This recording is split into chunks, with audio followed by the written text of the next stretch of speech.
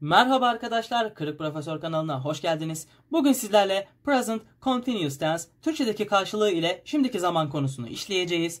Tanımımız ile başlayalım. Başlıktan da anlaşılacağı üzere aklımıza bir daha yer edinmesi adına Present Continuous Tense, şimdiki zaman anlamına gelmekte. Konuşma sırasında yapılan eylemleri ifade etmek için kullanılır şeklinde açıklamamızı yapmışız. Aynı anlama çıkan ama farklı bir tanımlama yapacak olursak şu anda yapılan eylemleri ifade etmek için kullanılır şeklinde de tanımlamamızı yapabiliriz. İlk olarak olumlu cümle kurma ile başlayalım. Bu arada öznelerin Türkçedeki karşılıklarını kağıdın altına yazdım. Buradan da kendinizi destekleyebilirsiniz. Evet, şimdi her özne kendisinden sonra gelen, kendine uygun olan bir yardımcı fiil almakta. Bakalım hangi özne hangi yardımcı fiili alıyor? I öznesi am yardımcı fiilini, you we they özneleri are yardımcı fiilini, he she it özneleri ise is yardımcı fiilini almakta. Yani I am, you are, we are, they are, he is, she is, it is şeklinde. Ve sabit olarak yardımcı fiillerden sonra gelen fiilime ing yani İngilizce'deki telaffuzu ile ing takısı ekliyorum. Şimdi açıklamamız havada asılı kalmasın. Hemen bütün özneleri şimdiki zamanda gerçekleşen walk yani yürümek anlamına gelen fiilimizle ifade ederek kullanalım. Ve her öznenin cümleye kattığı anlam ile konuyu daha iyi anlayalım. Her özneye konunun en başından farklı örnekler verirsem konuyu kavramamız daha zor olabilir. O yüzden ortak fiil kullanacağız hepsinde. Yani walk'u kullanacağız. Bakın ne demişiz. I am walking. Öznemi getirdim. Arkasından uygun olan yardımcı fiilimi ve arkasından Getirdiğim fiile artı olarak ing takısı getiriyorum. Çünkü şu anda olan bir şeyden bahsedeceğim. Ben I am walking diyerek ben yürüyorum şeklinde cümlemi ifade ediyorum. Burada yürüyorum derseniz direkt olarak daha doğru bir çeviride bulunmuş olursunuz. Fakat şu anda daha detaylı bilgi vermek adına ben özneyle beraber açıklamamı yapıyorum. I am walking diyerek ben yürüyorum şeklinde açıklamamı çevirimi yaptım. Bakın fark ettiyseniz walking demiyorum arkadaşlar. G'yi okumuyoruz. Walking. I am walking şeklinde ifade ediyoruz.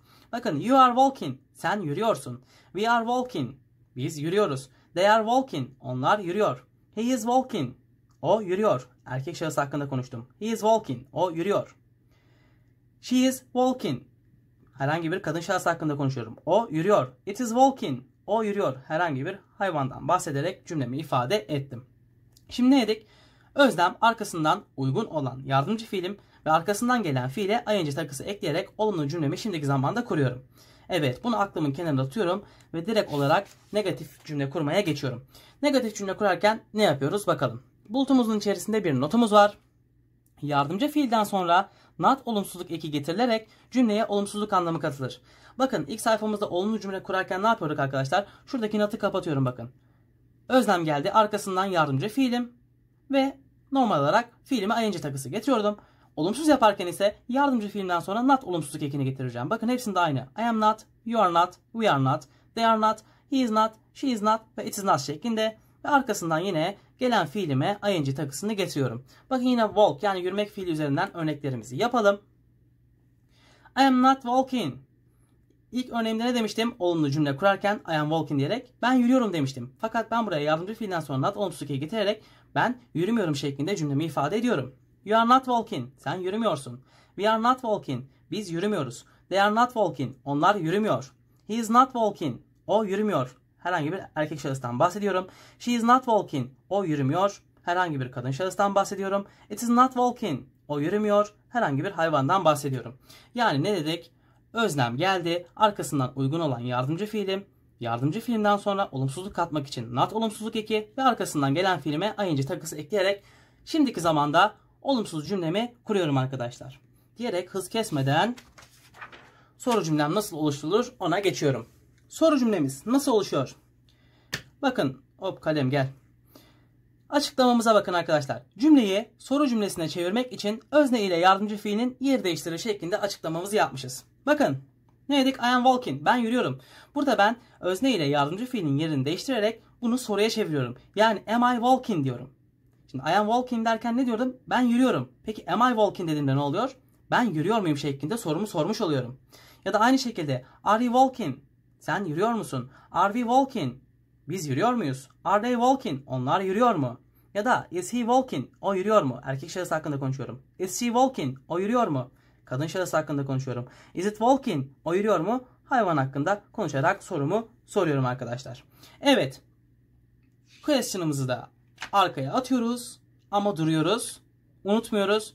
Özne ile yardımcı fiili yer değiştirerek ben soru cümlemi elde ediyorum diyoruz. Şimdi gidebilirsin kağıt. Evet. Mükemmel. Şimdi temeli aldık. Karışık örneklerimize bakalım ne demişiz.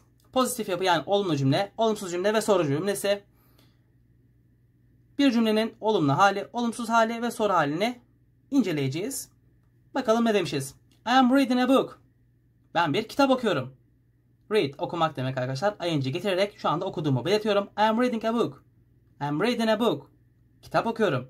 I am not reading a book. Ben bir kitap okumuyorum. Am I reading a book? Ben bir kitap mı okuyorum şeklinde cümlemi ifade ediyorum. Devam ediyoruz. You are standing.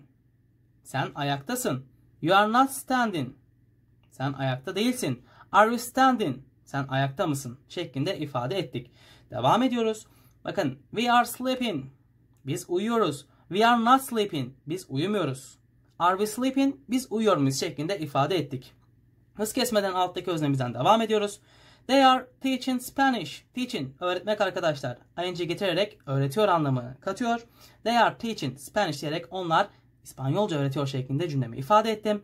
They are not teaching Spanish. Onlar İspanyolca öğretmiyor. Are they teaching Spanish? Onlar İspanyolca öğretiyor şeklinde cümlemizi ifade ettik.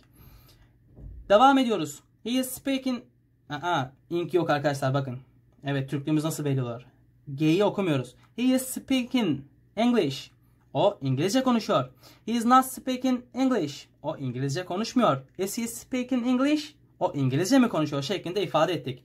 Hemen alttan devam ediyorum. She öznesiyle. She is learning Spanish. O İspanyolca öğreniyor. She is not learning Spanish. O İspanyolca öğrenmiyor. Is she learning Spanish? O İspanyolca mı öğreniyor şeklinde ifade ettim. Alttan devam ediyorum. It is barking demişim. Barking arkadaşlar havlamak anlamına geliyor. Aslında fiilin temel yalın haline bark. Havlamak anlamına gelmekte. Ben burada bir köpekten bahsediyorum.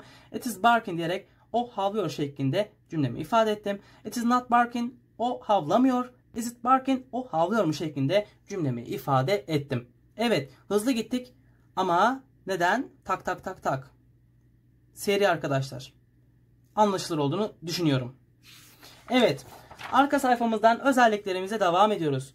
Evet. Bazı ha, istisnalar geldi. Evet. Ama dinlemeye devam ediyoruz. Videoyu kapatmıyoruz.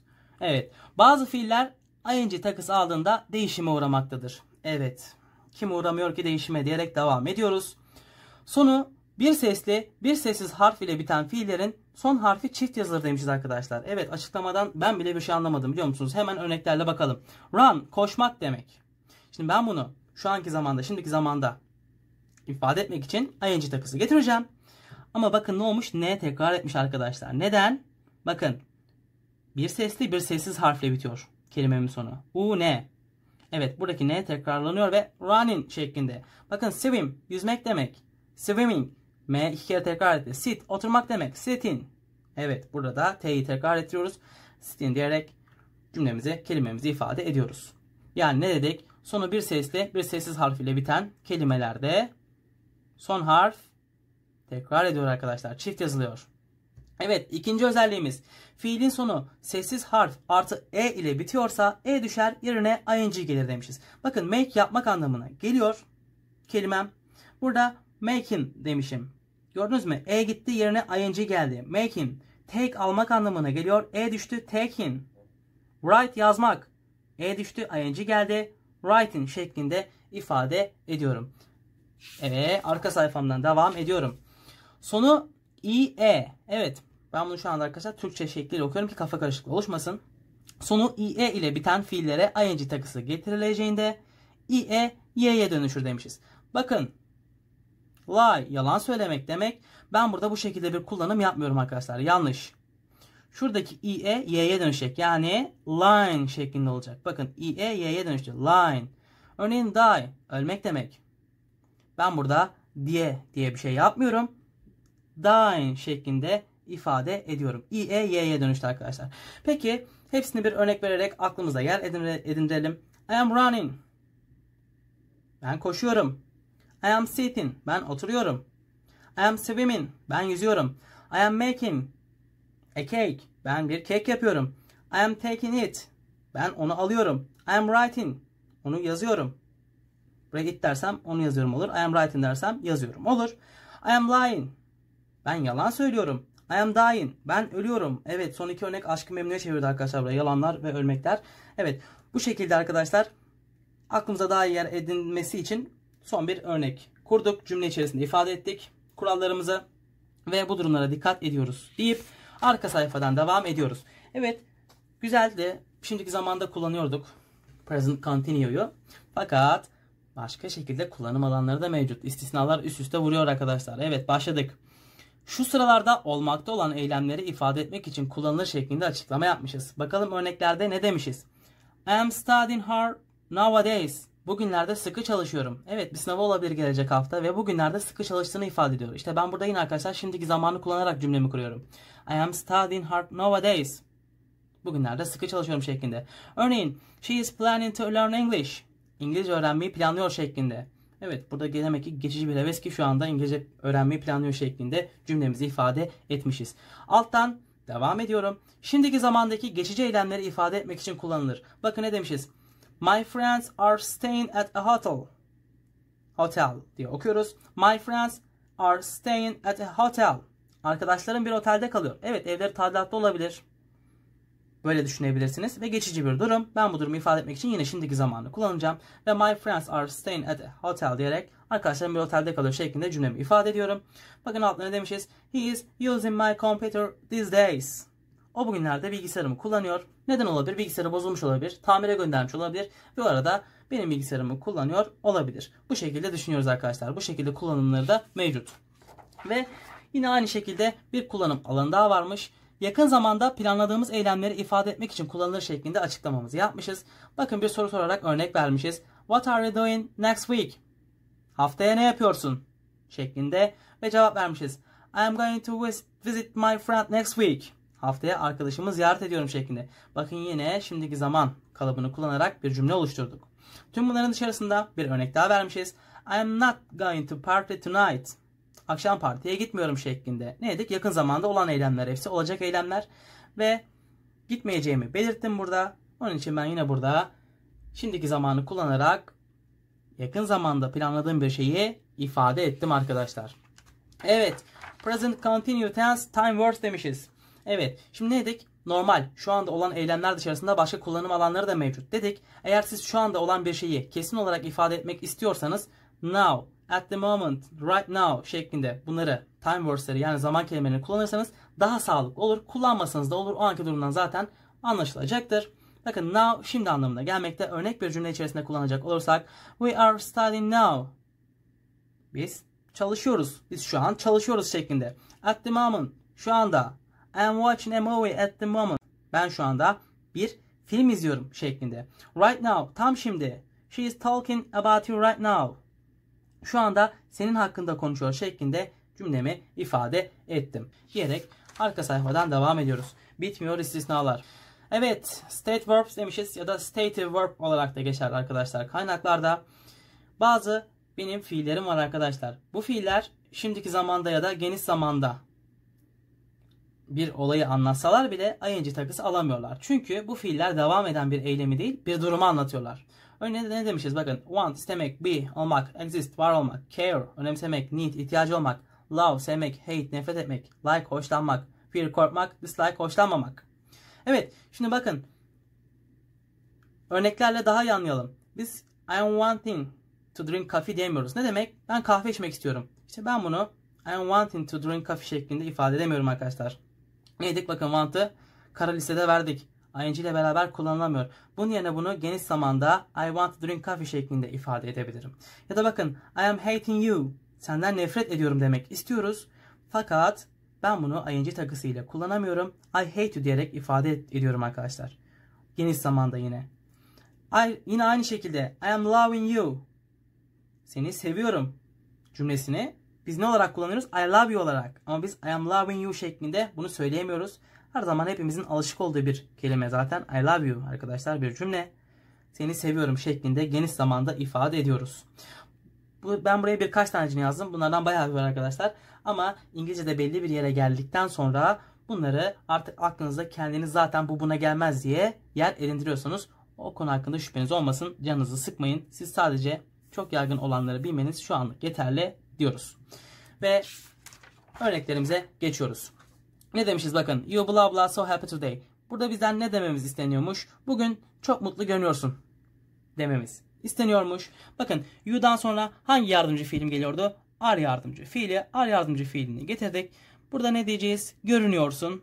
Görünüyorsunu nasıl söyleyeceğiz arkadaşlar? Looking ile söyleyeceğiz. You are looking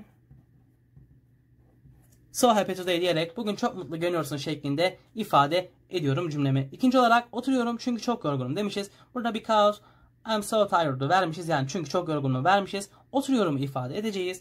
Oturmak neydi arkadaşlar? Sit.